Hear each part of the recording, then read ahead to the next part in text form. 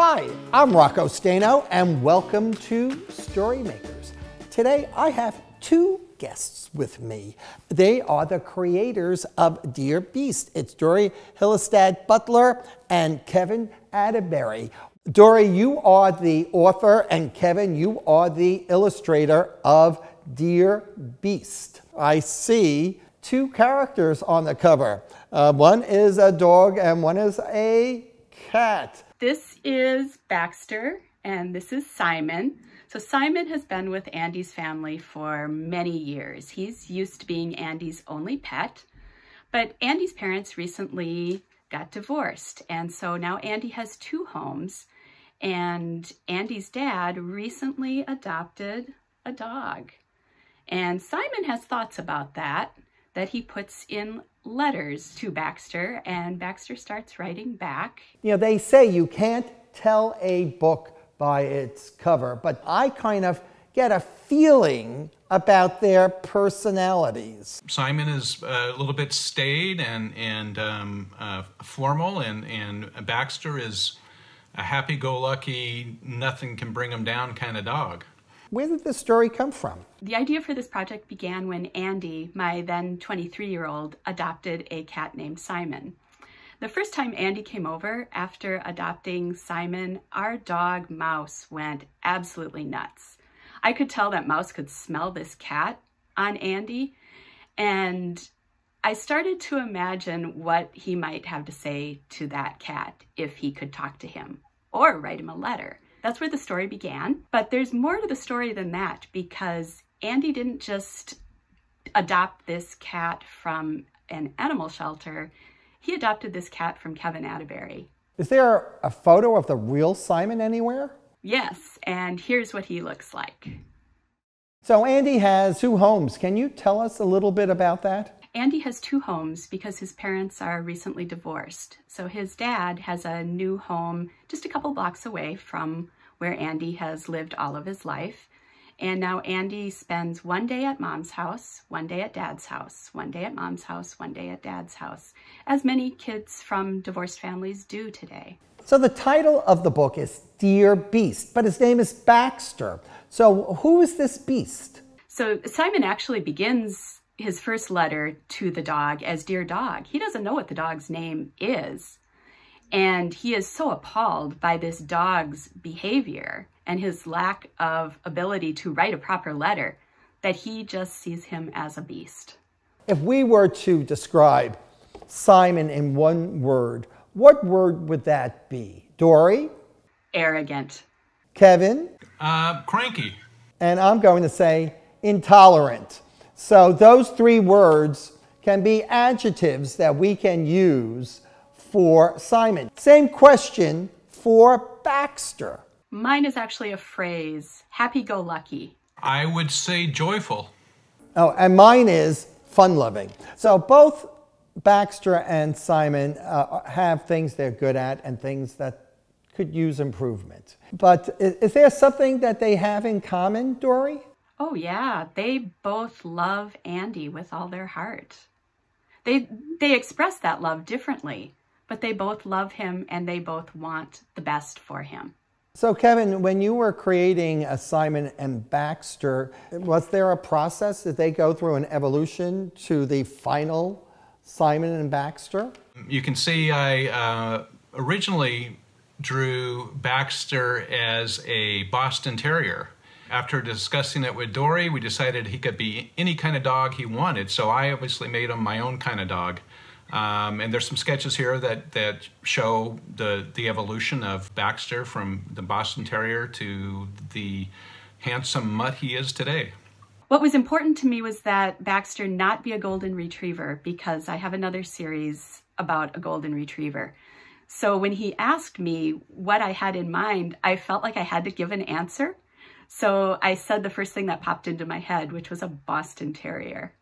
So this book is a, a series of letters. Uh, is there a term for this type of writing style, Dori? Yeah, it's epistolary. It's kind of a big word, but I think it's also a fun word to say. You know, if your pet was to write a letter, just like Baxter and Simon, who would they write it to? Would they write it to you? And if they were writing to you or to your mom or your, your aunt or uncle or the person next door, what would they say in that letter? Share it with us in the comments below. Oh, hi, Simon. Guess what, Rocco? I think Simon's planning to write you a letter. I can't wait to read that letter. While he's doing that, Kevan, let me ask you a question. Would you like to show us how to draw Simon and Baxter? I'd be happy to. Uh, when I start drawing, I use a, um, a light blue pencil like this to get a, a, rough sketch of, of what the finished drawing will look like. So um, to draw Baxter or Beast, I start with an oval, because his head is kind of oval shaped. Well, like that. And his ears are, are two triangles. So you can see them there. His nose is generally in the middle of his face when he's laughing or smiling, and since he's always laughing or smiling, we'll put his nose right about there, and then give him that big old smile that that we all love. Um, also, when he's smiling and happy, he usually has his tongue hanging out of his mouth. So I'll add that. Of course, he's got eyes, and over his left eye, there's usually a brown patch behind it. So we'll sketch that in there. And um, uh, when Baxter is writing a letter, he sits at a desk. So here's his desk. And he's usually very excited and tosses his paws up in the air. Um, let's see, that desk isn't very straight, but what the heck. Uh, he um, has a piece of paper that he, he writes his letter on, and of course, his trusty red crayon that he writes it with.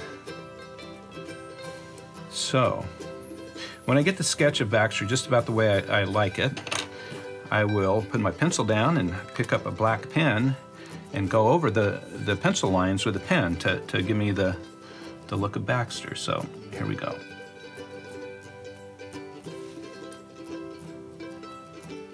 Here's his head, his ears,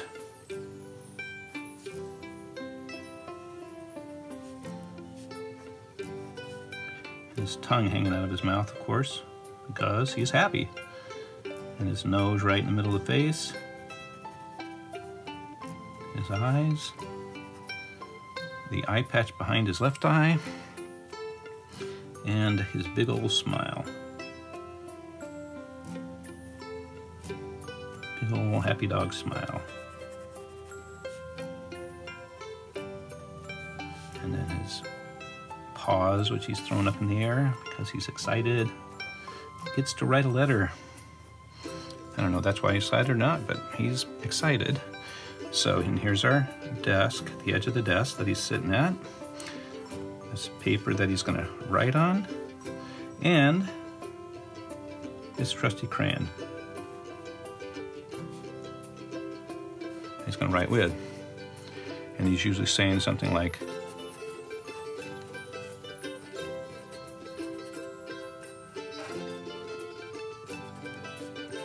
Yay! Because that's what Baxter says. So there's Baxter. Now for Simon, um, again, starting with my blue pencil, I also start with an oval, but this oval is, is more on its side. It's, it's a horizontal oval. So let's get that just about, and it's a little flatter.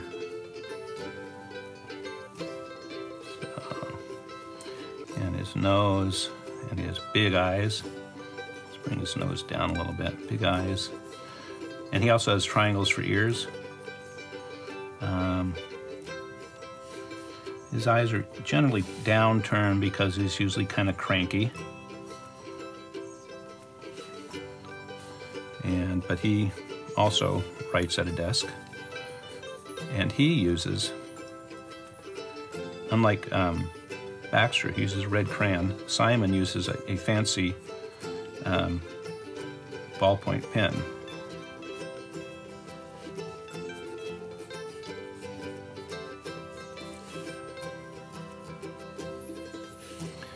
And let's see, where's his desk? His desk will be right about right here.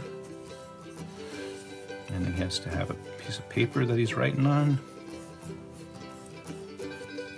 And he usually writes on um, personalized stationery that says Simon at the top. We're not going to get it in this in this illustration, but just so you know. Um, now and then we come back in and we we add the ink, the black ink. And here's this fancy pen.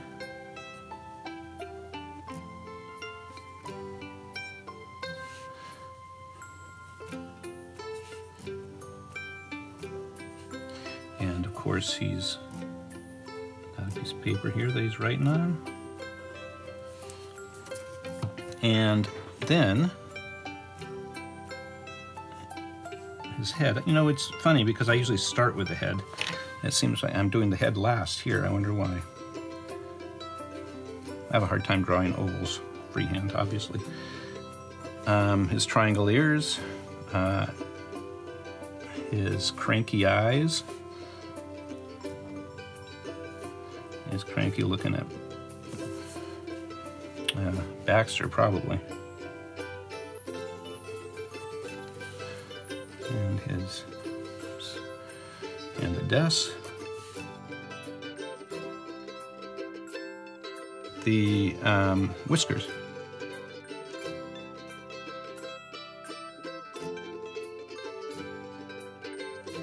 And that is Simon. And he probably says something like, oh, probably, humph.